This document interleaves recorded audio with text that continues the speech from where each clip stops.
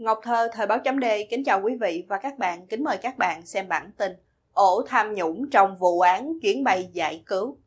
Báo AFA ngày 21 tháng 7 tiếp tục có bài viết về phiên tòa xét xử chuyến bay giải cứu, một phiên tòa đã gây ra rất nhiều bất bình trong xã hội Việt Nam những ngày qua. Theo đó, AFA phỏng vấn các chuyên gia nhận định rằng vụ án này phơi bày những ổ tội phạm trầm trọng trong ngành công an Việt Nam và làm dấy lên lo ngại về sự tham nhũng trong bộ máy nhà nước Việt Nam. Hình ảnh bài viết trên AFA. Các bị cáo trong vụ án chuyến bay giải cứu đều là những người có chức vụ cao trong ngành công an Việt Nam, trong đó có cựu Phó Giám đốc Công an Hà Nội Nguyễn Anh Tuấn, cựu trưởng phòng an ninh điều tra Bộ Công an Hoàng Văn Hưng và cựu Phó Tổng Giám đốc Công ty Bầu Trời Xanh Lê Hồng Sơn. AFA cho biết các chuyên gia mà họ phỏng vấn đã dành nhiều thời gian để bình luận về những lời khai mâu thuẫn và trái ngược nhau giữa những bị cáo Nguyễn Anh Tuấn và Hoàng Văn Hưng. Trước đó, trong phiên tòa, bị cáo Nguyễn Anh Tuấn tiếp tục khẳng định rằng đã đưa tiền cho bị cáo Hoàng Văn Hưng để chạy án, nhưng ông Hưng vẫn không thừa nhận. Ông Võ Văn Tạo, cựu hội thẩm nhân dân, người từng có kinh nghiệm làm việc hàng chục năm ở tòa án cấp địa phương, bình luận rằng việc mâu thuẫn trong các lời khai lẫn nhau là điều thực tế, không phải là hy hữu, cũng không có gì là vô lý cả. Ông Tạo nói rằng hầu hết các chứng cứ đều chứng minh bị cáo Hưng có tội. Bị cáo này liên tục bác bỏ nên có thể sẽ không được tình tiết giảm nhẹ. Còn bị cáo Tuấn thì có thái độ mềm mỏng, chân thành, khôn ngoan hơn, nên có thể sẽ nhận được sự khoan hồng từ tòa. Theo truyền thông nhà nước, Viện Kiểm sát ngày 21 tháng 7 đã đề nghị giảm một năm tù đối với bị cáo Nguyễn Anh Tuấn. Luật sư Lê Quốc Quân đến từ Hoa Kỳ nói với AFA rằng Mâu thuẫn ở trong lời khai là một điều thường xuyên xảy ra và nó xảy ra rất nhiều. Nhưng ở Việt Nam, thay vì mâu thuẫn đó được đi tìm một cách xác thực bằng các phương tiện công cụ, các lý luận, tư duy, thì ở Việt Nam là chỉ đạo. Ở Việt Nam, quan điểm của người ta là chỉ đạo. Chỉ đạo đánh án như thế này là người ta đánh án như thế này. Chỉ đạo làm cho nó phình to ra là nó phình to ra. Và chỉ đạo làm cho nó nhỏ lại là nó nhỏ lại chỉ đạo phải diệt người này thì lấy hết lời khai của người nọ để diệt người này. Nó không phải là một cuộc chạy đua để tìm kiếm công lý và tranh luận giữa hai bên dựa vào chứng cứ hay dựa vào lời khai.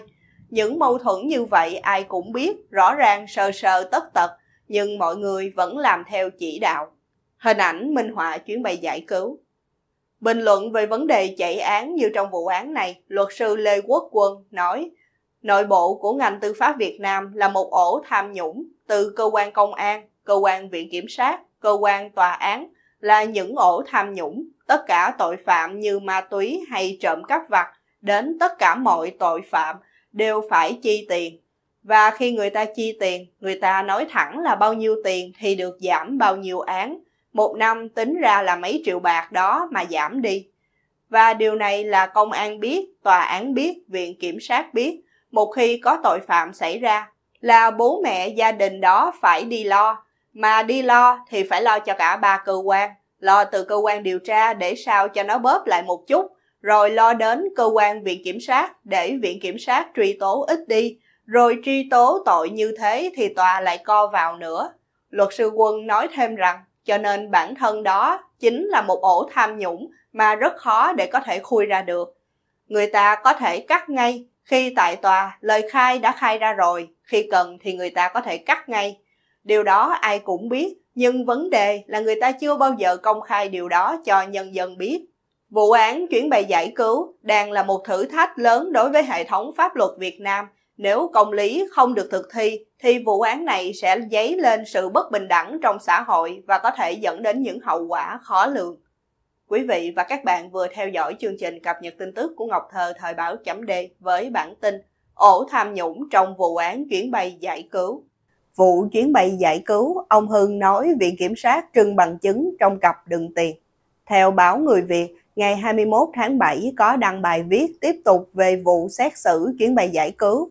Theo đó, báo Người Việt đưa tin, bị cáo Hoàng Văn Hưng, cựu trưởng phòng 5 Cục An ninh điều tra Bộ Công an, vẫn tiếp tục kêu oan và bật lại mọi cáo buộc của Viện Kiểm sát nhắm vào ông này trong phiên tòa xử vụ chuyến bay giải cứu. Hình ảnh báo Người Việt đưa tin.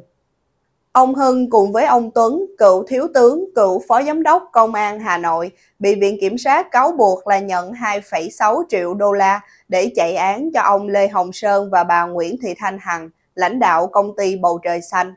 Theo người Việt, trong lúc hầu hết các bị cáo khác đều nhận tội, bị cáo Hoàng Văn Hưng là người duy nhất dám cãi lại Viện Kiểm sát vào quan tòa. Trong phiên tòa ngày 21 tháng 7, Hoàng Văn Hưng đề nghị hội đồng xét xử xem xét Viện Kiểm sát dùng lời khai của ông Tuấn, bà Hằng để buộc tội bị cáo có khách quan đúng pháp luật hay không. Hưng giải trình lại rằng trước khi khởi tố vụ án, bị cáo không có cơ hội giải trình về lời khai của Nguyễn Anh Tuấn, cựu phó giám đốc công an Hà Nội. Ngoài ra, Đứng trước vành móng ngựa, bị cáo Hưng đặt câu hỏi tại sao bị cáo Nguyễn Anh Tuấn khai báo đã chuyển hết lại số tiền 2,6 triệu USD cho bị cáo Hưng. Nhưng sau khi cơ quan điều tra kết luận vụ án, bị cáo Tuấn cùng gia đình nhanh chóng nộp lại khoản tiền này để khắc phục hậu quả. Mục đích của việc nộp lại tiền nhanh như thế để làm gì? Ông Tuấn vẫn khẳng định đã đưa hết tiền 2,6 triệu đô la cho bị cáo. Vậy thì ông Tuấn nộp lại làm cái gì? Bị cáo Hưng đặt câu hỏi.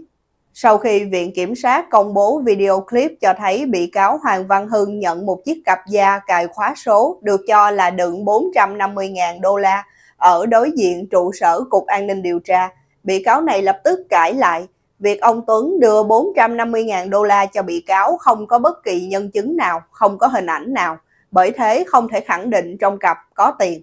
Đại diện Viện Kiểm sát đưa dữ liệu viễn thông cho biết, vào buổi sáng hôm giao chiếc cặp, Giữa hai bị cáo Hưng và Tuấn có 7 cuộc gọi.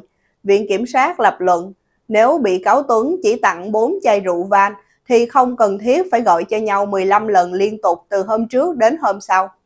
Việc Hưng chối cãi cáo buộc nhận tiền từ ông Tuấn là tráo trở gian dối, không trung thực, dựng chuyện trắng trợn.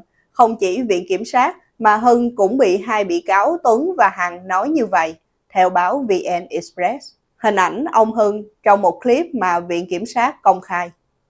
Viện Kiểm sát đã hơn hai lần dùng từ tráo trở gian dối để đánh giá về lời khai, lời bào chữa của ông Hưng khi đưa ra nhiều thông tin không trung thực về hành vi phạm tội cũng như vu khống cho cơ quan tố tụng. Bị cáo Hoàng Văn Hưng cho rằng, nguyên nhân chính khiến tôi bị oan là vì cơ quan điều tra và viện kiểm sát không tuân thủ quy định pháp luật về chống oan sai trong mọi tình huống phải bảo đảm nguyên tắc trọng chứng hơn trọng cung, không được dùng lời khai, đặc biệt là lời khai đổ tội làm chứng cứ kết tội, không được buộc tội bằng nhận định mà không có chứng cứ, bị cáo Hưng nói. Điều tra viên, kiểm sát viên phải vận dụng triệt để nguyên tắc suy đoán vô tội. Khi không đủ căn cứ, phải kết luận không có tội một cách nhanh nhất để không gây ra hậu quả nặng nề, bị cáo Hưng nhấn mạnh. Ngoài ra, bị cáo Hoàng Văn Hưng còn cho rằng trong phần đối đáp, đại diện Viện Kiểm sát đã có những lời nói xúc phạm danh dự nhân phẩm của tôi nên đề nghị Viện Kiểm sát xem xét lại. Trước đó, tự bào chữa, ông Hưng nhiều lần khẳng định mình bị oan, không thực hiện hành vi phạm tội như cáo buộc.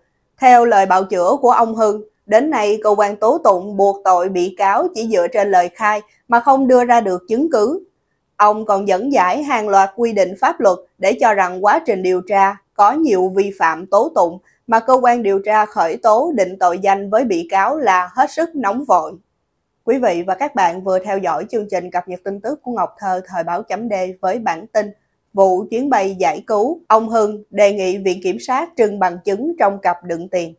Quý vị và các bạn hãy chia sẻ video này để nhiều người cùng biết cũng như bấm nút đăng ký kênh youtube và facebook của thời báo chấm D để được cập nhật những bản tin mới nhất, nhanh nhất và trung thực nhất. Ngọc Thơ, Thời báo chấm đề.